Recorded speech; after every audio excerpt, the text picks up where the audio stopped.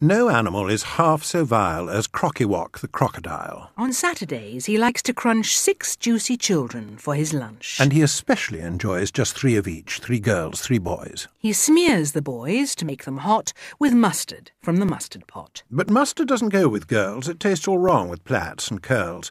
With them, what goes extremely well is butterscotch and caramel.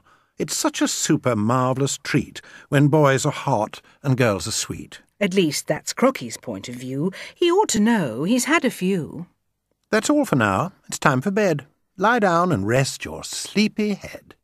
Shh, listen. What is that I hear? Galumphing softly up the stair. Go lock the door and fetch my gun. Go on, child, hurry, quickly, run! No, stop. Stand back. He's coming in. Oh, look, that greasy greenish skin, the shining teeth, the greedy smile. It's Crocky-Wock, the the crocodile.